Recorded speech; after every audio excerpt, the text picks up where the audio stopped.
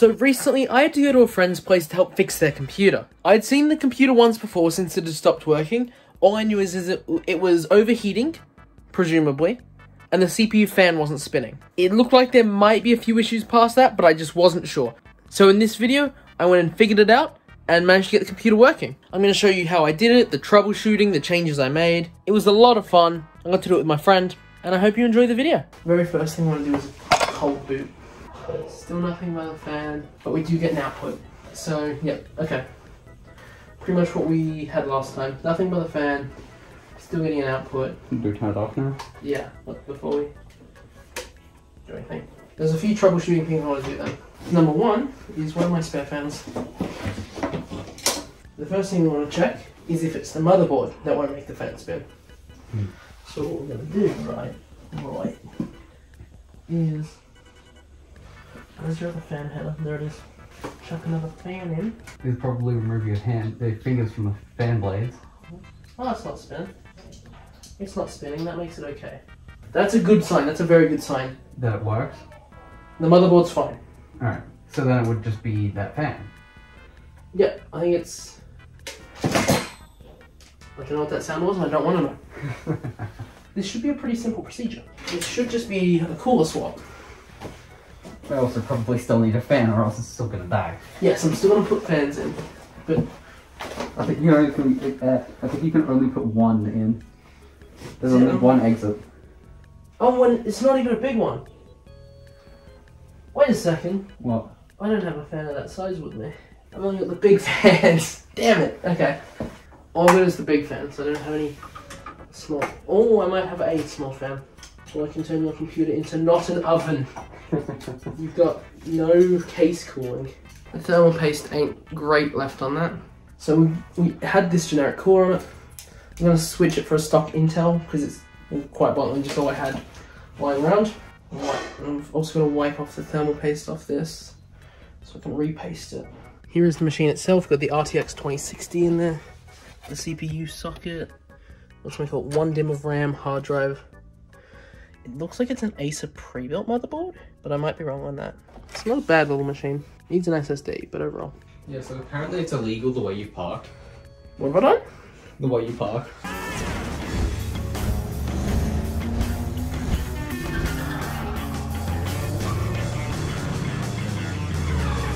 This, my friend, is your CPU, your processor.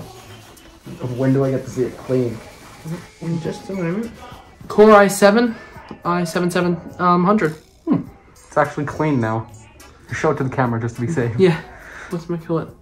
And we are about to go dirty it back up with more thermal paste. Processor's back in the socket. Now we've just got to get the fan on. No, not quite. Not quite? Uh-uh. What? We're gonna have to take the motherboard out. Why? So, you know how the other mu- um, one you screw in? Mm. This one is not a screw-in one. It fits the same holes, but it's not a screw-in one. Oh no. So we've got to get rid of these spokes. Essentially by just pushing them through.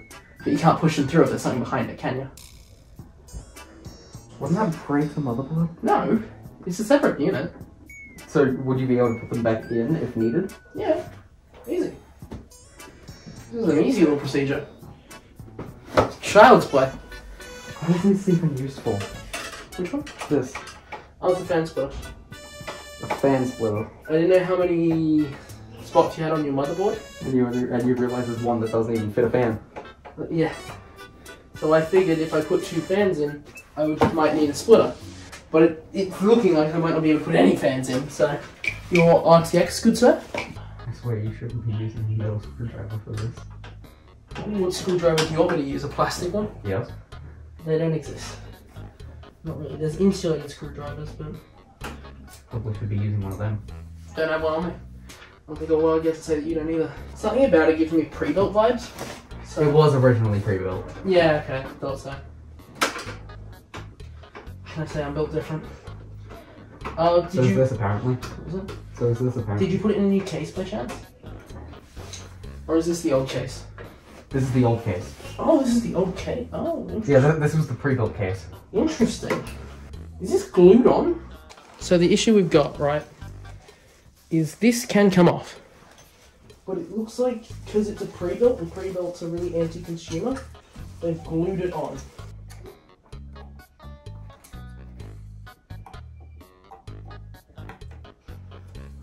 There we go, there we go, there we go. That, tech support a hero.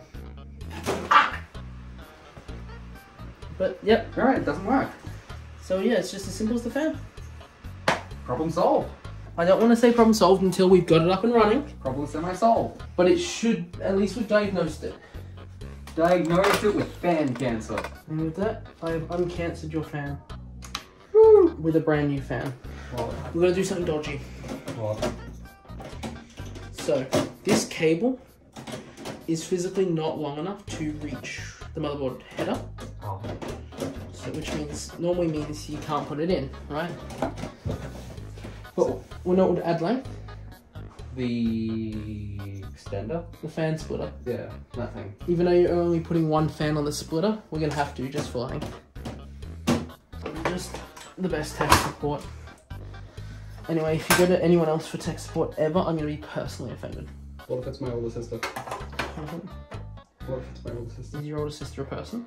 Yes. Then I'm gonna be personally offended. You might notice your computer is a little bit louder because, well, there's another fan in there. Yeah. But I'll tell you this much: one, you'll barely notice it, and two, for the difference it'll make in cooling, it's worth it. And you've got Star Wars stickers on it. What? That's not a good thing. You didn't get this graphic card brand new, brand new, did you? I got it from my older sister. Cool. It's a, it's a little faulty. Heads up.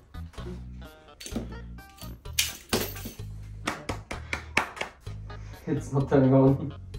I don't see a red light. What did you? You might have left something unconnected. Yeah, I'm thinking that's the case. Oh, Oh yeah, I see exactly. What I made a stupid mistake, a really stupid dumb mistake. What? Did you assemble it upside down? No, I left out the biggest connector. Yeah, I think that might help. yeah, probably. Do do do. It's got light. There we go. Fan spinning. We're gonna need zip ties though. Alright, that's good. We have any. That's not good. What? What's happening? Got my foot caught on the cable. Simple fixes. I've done a plenty of complicated builds and fixes, so sometimes it's not nice it's to just have a simple CPU switch, CPU cooler switch. I haven't set everything up. I've only plugged in the keyboard and mouse, but oh my god, it's so slow. You need an SSD. Seems to be running fine. Do you notice a frames difference at all? No. No. Try turning up the graphics. They turned it up to very high. There, it looks better. Still no frame issues. Kablamo seems to be running fine. Oh. You were saying. Oh, crikey. Okay. Your temps. Okay, your temps definitely got high. And then as you can see, we got the computer running. The graphics card, one of the fans still wouldn't spin, but the thermals didn't seem too bad, so we decided to leave it. But overall, it's working.